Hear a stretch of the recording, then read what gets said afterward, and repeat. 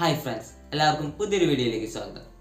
നിങ്ങളൊരു ആൻഡ്രോയിഡ് ഫോണാണ് ഉപയോഗിക്കുന്നതെങ്കിൽ ആ ആൻഡ്രോയിഡ് ഫോണിലുള്ള ആൻഡ്രോയിഡ് ആപ്ലിക്കേഷനുകളിലെ നിങ്ങൾ യൂസ് ചെയ്യാത്തതും അതേപോലെ തന്നെ നിങ്ങൾക്ക് പരിചയമില്ലാത്തതും എന്നാൽ നിങ്ങൾക്ക് ഏറ്റവും ഉപകാരപ്പെടുന്നതുമായ കുറച്ച് സെറ്റിങ്സുകൾ അല്ലെങ്കിൽ ടിപ്സ് എന്നൊക്കെ പറയാം. പക്ഷേ നിങ്ങൾക്ക് തീർച്ചയായും ഉപകാരപ്പെടുന്നതായിരിക്കും. അപ്പോൾ ആ സെറ്റിങ്സുകൾ ഏതൊക്കെയെന്ന് നമുക്ക് വേഗം നോക്കാം.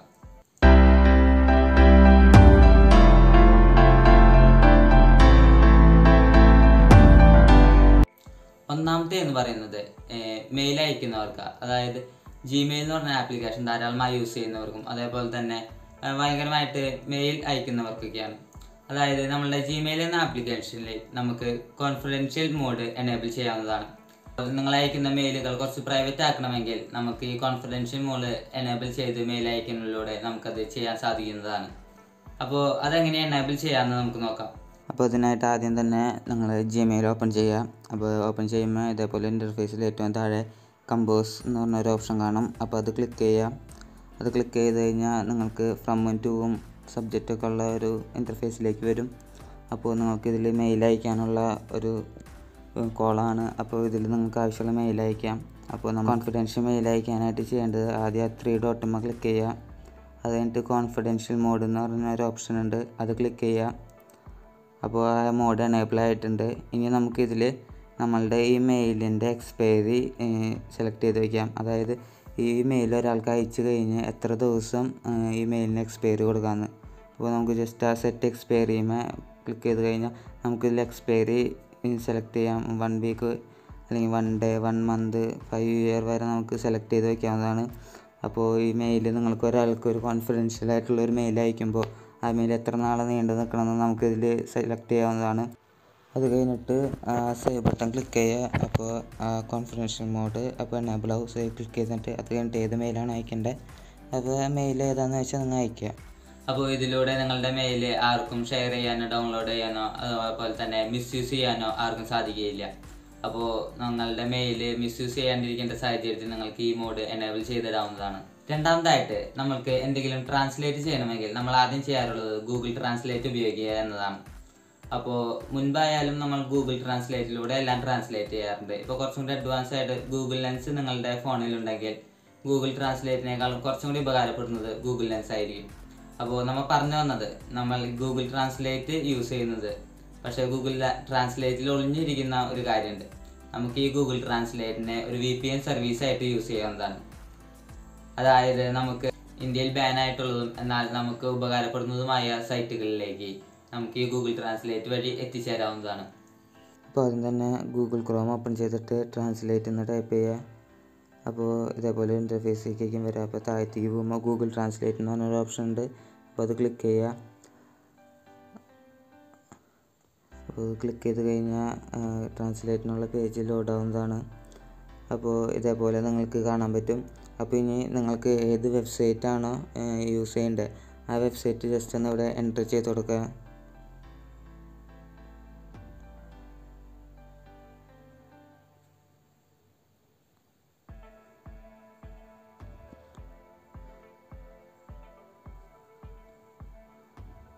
അപ്പോൾ സ്ട്രീമേബിൾ ഡോട്ട് കോം എന്ന് ഞാനിവിടെ എന്റർ ചെയ്തിട്ടുണ്ട്.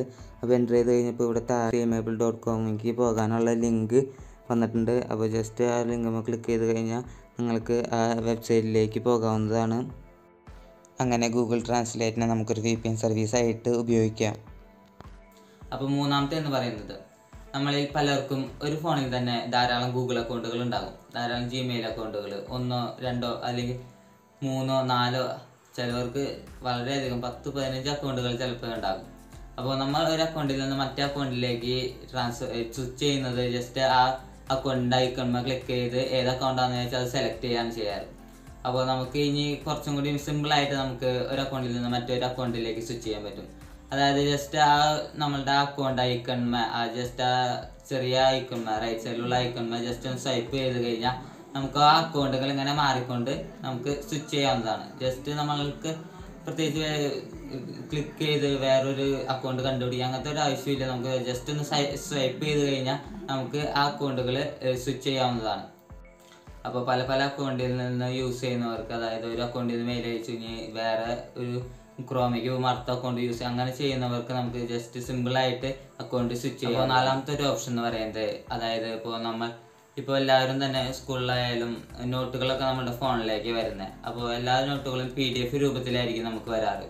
അപ്പോൾ നമുക്ക് ഇപ്പോൾ ഒരു ഗൂഗിൾ ക്രോമിൽ ഏതെങ്കിലും ഒരു വെബ്സൈറ്റ് ഇപ്പോൾ പി ഡി എഫ് ആയിട്ട് നമ്മുടെ ഫോണിലേക്ക് ഡൗൺലോഡ് ചെയ്യണമെങ്കിൽ നമുക്കത് എങ്ങനെ ഡൗൺലോഡ് ചെയ്യാമെന്ന് നോക്കുന്നത്. അതായത് ഇപ്പോൾ നമുക്ക് ഒരു വെബ്സൈറ്റ് നമ്മുടെ ഫോണിലേക്ക് ഡൗൺലോഡ് ചെയ്യാൻ പറ്റും.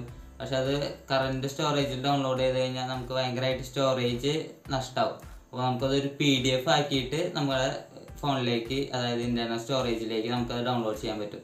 അപ്പോൾ അതെങ്ങനെയാണെന്ന് നോക്കാം. അപ്പോൾ അത് തന്നെ നിങ്ങൾ ഗൂഗിൾ ക്രോം ഓപ്പൺ ആക്കിയിട്ട് ഏത് വെബ്സൈറ്റാണോ പി ഡി എഫ് ആക്കേണ്ടത് ആ വെബ്സൈറ്റ് ഓപ്പൺ ചെയ്തിട്ട് ഏതാണോ നിങ്ങൾക്ക് പി ഡി എഫ് ആക്കേണ്ടത് ആ ഒരു ലിങ്ക് സൈറ്റ് ഓപ്പൺ ചെയ്ത് വയ്ക്കുക അത് കഴിഞ്ഞിട്ട് ജസ്റ്റ് ആ ത്രീ ഡോട്ടുമെന്ന് ക്ലിക്ക് ചെയ്യുക. അപ്പോൾ ഒരു സെന്ററിലായിട്ട് ഷെയർ എന്ന് പറയുന്ന ഒരു ഓപ്ഷൻ ഉണ്ട്. അത് ക്ലിക്ക് ചെയ്യുക. അപ്പോൾ ഏറ്റവും താഴെ സ്ക്രോൾ ചെയ്യുമ്പോൾ പ്രിന്റ് എന്ന് പറയുന്ന ഒരു ഓപ്ഷൻ കാണും. അപ്പോൾ അതൊന്ന് ക്ലിക്ക് ചെയ്യുക. അപ്പോൾ ഇത് പ്രിന്റ് ചെയ്യാനുള്ള ഒരു ഓപ്ഷനാണ് അപ്പോൾ ജസ്റ്റ് മുകളിൽ save as P D F അല്ലെങ്കിൽ ഓൾ പ്രിന്റേഴ്സ് എന്ന് പറഞ്ഞൊരു ഓപ്ഷൻ കാണും.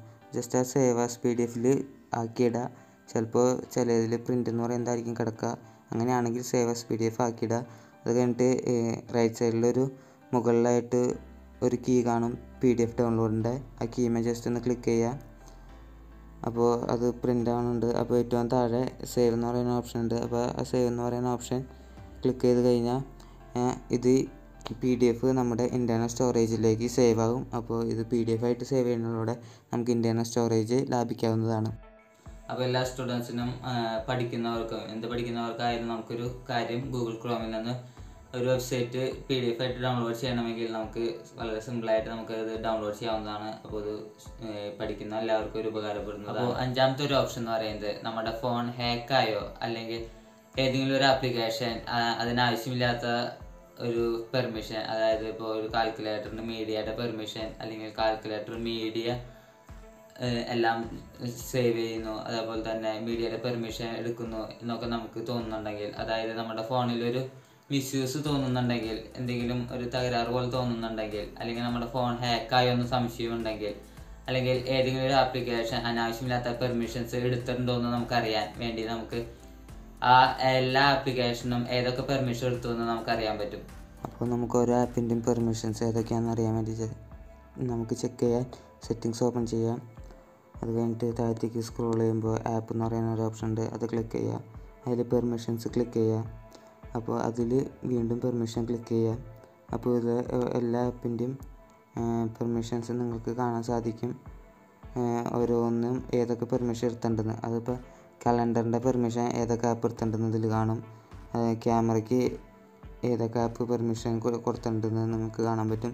അതേപോലെ തന്നെ പെർമിഷൻ കൊടുക്കാത്തത് ഏതൊക്കെയാണെന്നറിയാം അപ്പോൾ ഓരോ ഫങ്ഷനും ഏതൊക്കെ പെർമിഷൻ നൽകിയിട്ടുണ്ടെന്ന് നമുക്ക് ഇതുവഴി അറിയാവുന്നതാണ്. അപ്പോൾ ഓരോ ആപ്പിന് ഏതൊക്കെ പെർമിഷൻ വേണമെന്ന് നമുക്കറിയാം. അതനുസരിച്ച് പെർമിഷൻ അലോ ചെയ്ത് കൊടുത്താൽ മതി. അപ്പോൾ ഒരു ആപ്ലിക്കേഷൻ ഏതൊക്കെ പെർമിഷൻ നൽകണമെന്ന് നമുക്ക് ഏകദേശം അറിയാൻ പറ്റും. കാരണം കാൽക്കുലേറ്ററിന് ഒരിക്കലും മീഡിയാസ് അതേപോലെ തന്നെ നമ്മൾ സ്റ്റോർ സ്റ്റോറേജ് ഫോട്ടോസ് അതിന്റെ പെർമിഷൻസിന്റെ ആവശ്യമൊന്നുമില്ല. അതേപോലെ തന്നെ ടോർച്ച് ലൈറ്റിന് ലൊക്കേഷന്റെ പെർമിഷൻസ് ആവശ്യമില്ല. അപ്പോൾ അപ്പോൾ ഏതൊരു ഏതെങ്കിലും ഒരു ആപ്പ് അതേപോലെ തന്നെ നമുക്ക് തേർഡ് പാർട്ടി ആയിട്ട് ഇൻസ്റ്റാൾ ചെയ്തിട്ടുള്ള ആപ്പുകളിൽ ആവശ്യമില്ലാത്ത പെർമിഷൻസ് നമ്മൾ അലോ ചെയ്ത് കൊടുത്തിട്ടുണ്ടെങ്കിൽ നമുക്ക് ഇതിലൂടെ നമുക്ക് ആ പെർമിഷൻസ് ഒക്കെ ഡിനൈ ചെയ്തിട്ട് ഓരോ ആപ്പിനും ആവശ്യമായ പെർമിഷൻ മാത്രം നൽകുക ഗൂഗിൾ പ്ലേ സ്റ്റോറിൽ നിന്നാണ് നമ്മൾ ഡൗൺലോഡ് ചെയ്യുന്നതെങ്കിലും ആവശ്യമായിട്ടുള്ള പെർമിഷൻ മാത്രം നൽകുക അപ്പോൾ നമുക്ക് നമ്മളുടെ ഫോണിൽ നിന്ന് ഹാക്ക് ആവുന്നതിൽ നിന്നൊക്കെ നമുക്ക് രക്ഷപ്പെടാൻ സാധിക്കും. അപ്പോൾ ഇന്നത്തെ വീഡിയോയിൽ നമ്മൾ നോക്കിയത് നമ്മുടെ ആൻഡ്രോയിഡ് ആപ്ലിക്കേഷനിലെ കുറച്ച് ഒളിഞ്ഞിരിക്കുന്ന സെറ്റിങ്സുകളാണ് അതായത് നമുക്ക് ഉപകാരപ്പെടുന്നതും എന്നാൽ നമ്മൾ യൂസ് ചെയ്യാത്തതും നമുക്ക് പരിചയമില്ലാത്തതുമായ കുറച്ച് സെറ്റിങ്സുകൾ അപ്പോൾ ഈ വീഡിയോ നിങ്ങൾക്ക് ഉപകാരപ്പെട്ടിട്ടുണ്ടെങ്കിൽ ചാനൽ ഒന്ന് സബ്സ്ക്രൈബ് ചെയ്യുക. കൂടാതെ ലൈക്കിനും കൂടെ എനേബിൾ ചെയ്യുക. അപ്പോൾ നിങ്ങൾക്ക് ഈ വീഡിയോ ഇഷ്ടമായാൽ തീർച്ചയായും ലൈക്ക് ചെയ്യുക. ഇഷ്ടമായില്ലെങ്കിൽ ഡിസ്ലൈക്ക് ചെയ്യുക. അപ്പോൾ ഇതിൽ നല്ലൊരു വീഡിയോയുമായി കണ്ടുമുട്ടുന്നവരെ it's me Sona Sajan signing off